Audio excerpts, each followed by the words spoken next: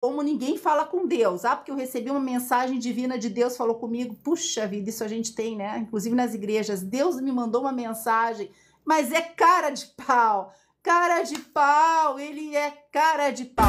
Cara de pau.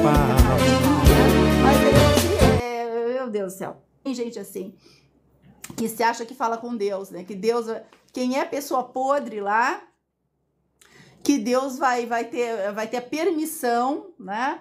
O privilégio de falar com Jesus Cristo, com Deus, com os amigos. Não, gente, me poupe, né?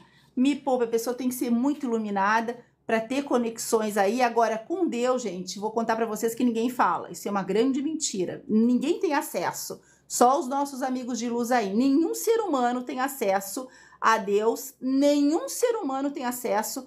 Ah, não, se eles mandam, né? Lá em cima, eles mandam os, os, os, os que trabalham, né, os que estão trabalhando lá no, no, no na, na, nas colônias espirituais, para vir justamente para passarem informações através de médiums sérios. Os outros são loucos mesmo, né? Tanta gente louca aí que não, não, não lá, lá com K.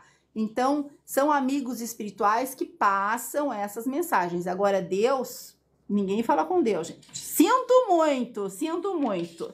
Né? Então é, é uma coisa assim, ó, chega a ser perturbada. Não, essa gente é louca, né? Não tem outra pessoa, vai ter que se tratar. Não é possível, não é possível.